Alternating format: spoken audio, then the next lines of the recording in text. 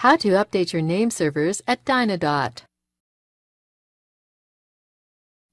This demo assumes you have a domain name registered through Dynadot and starts from their homepage. Now let's learn how to update our domain name's name server settings. Click Login in the upper right of this homepage to log in to your account. Enter your username and password, then click the Sign In button. Click the Dynadot parking link under Name Server.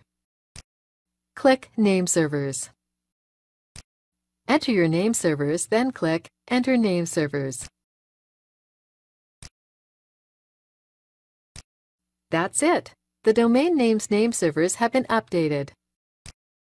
Please note that it could take up to 24 hours for your new name servers to propagate and be recognized across the Internet. This is the end of the tutorial.